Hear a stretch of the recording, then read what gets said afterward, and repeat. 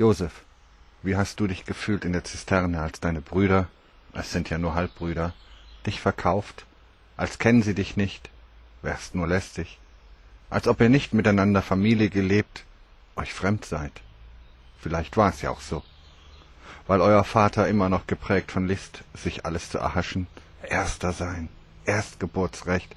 Und mit Beharrlichkeit, oder war es Angst vor dem Dienstherrn, deswegen so lange seine Knechtschaft erduldete, bis er sie, die ausgesuchte Frau, bekam. Josef, wie hast du dich gefühlt, so zurückgesetzt, als die zwei Mitgefangenen dich vergessen? Du durch eine Lüge, obwohl Knecht, vom hohen Ross gefallen und wieder ganz unten liegst, im Gefängnis bist. Josef, wie hast du dich gefühlt? Da gibt Gott dir Träume, wusstest du das, dass sie von ihm sind?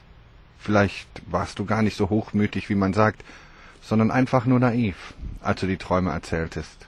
Freudig wie ein kleines Kind, weil du etwas hattest, was dir gefiel. Endlich etwas, was dir Kleinen bei den Brüdern vielleicht Anerkennung einbringt. Anerkennung bei Geschwistern. Glaubst du an sowas?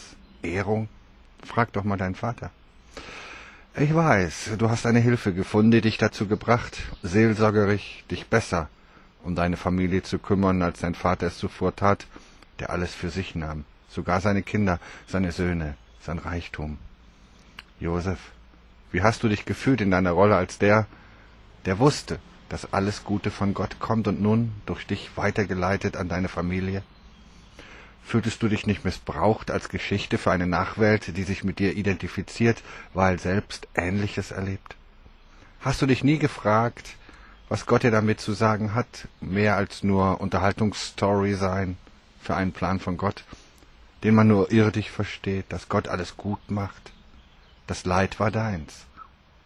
Und das Beispiel auf Jesus Christus mit seinen Leiden, davon hattest du auch nichts. Wir vielleicht heute. Aber nur, wenn wir begreifen, dass alle Leiden auf ihn lagen, er unser Platz eingenommen.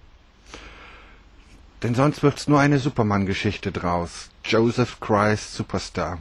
Oder es wird eine Mitleid-Story draus, aller, ach, der arme Joseph, ich find mich da wieder, Schluchzopera. So ein Quatsch. Gott muss dem mehr gesagt haben. Und vielleicht auch etwas verheimlicht. Sich verheimlicht.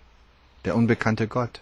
Der verborgene Gott, der sich nur denen offenbart, die, nein, nicht denen, die sich ganz hingeben, ernstlich beten oder sich einsetzen für die anderen, der sich offenbart den Unmündigen, denen, die zu nichts fähig sind, nicht mal zum Lieben. Josef, ich weiß jetzt, was du gelernt hast aus dieser ganzen Geschichte.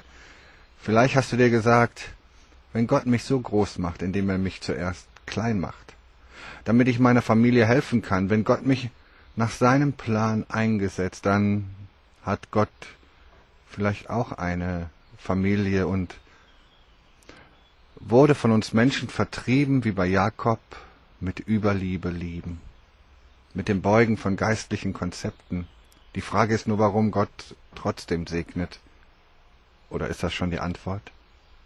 Und bei dir, Josef, gesegnet, um zu segnen, ja, das sicher auch, aber vor allem eine Geschichte, so wie wir alle eine Geschichte haben, sei sie unangenehm und traurig oder angenehm und fröhlich. Dass wir verstehen, hier erzählt Gott über sich selbst.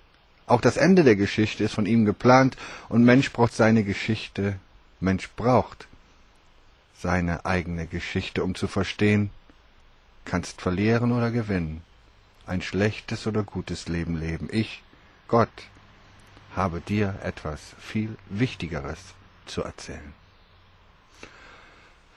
Und dafür brauchen wir den Augenöffner, so wie Jakob. Verliere alles, was du hast, dein Liebstes, dein Lieben, falsche Flucht, die in selbstgemachte Sorglosigkeit. 1. Mose 45, Vers 26, und verkündigten ihm und sprachen, Josef lebt noch und ist Herr im ganzen Ägyptenland. Aber sein Herz dachte gar viel anders, denn er glaubte ihnen nicht. Da sagten sie ihm alle Worte Josef, die er zu ihnen gesagt hatte, und da sah er die Wagen, die ihm Josef gesandt hatte, ihn zu führen. Ward der Geist Jakobs, ihres Vaters, lebendig. Und dann 1. Mose 45, 27. Und sie redeten zu ihm alle Worte Josef, die er zu ihnen geredet hatte. Und er sah die Wagen, die Josef gesandt hatte, ihn zu holen. Und der Geist ihres Vaters Jakobs lebte auf. Und Israel sprach, genug, Josef, mein Sohn lebt noch. Ich will hinziehen und ihn sehen, ehe ich sterbe. Und dann unterwegs den Trost Gottes. 46, Vers 4. Ich will mit dir nach Ägypten hinabziehen, und ich will dich auch gewisslich heraufführen. Und Josef soll seine Hand auf deine Augen legen. Gott führt die Familie zusammen. Niemand soll alleine seinen ewigen Tod sterben, sondern in der Familie Gottes sein Erdenleben mit ewigem Leben beschließen, wie im Himmel, so auch auf Erden.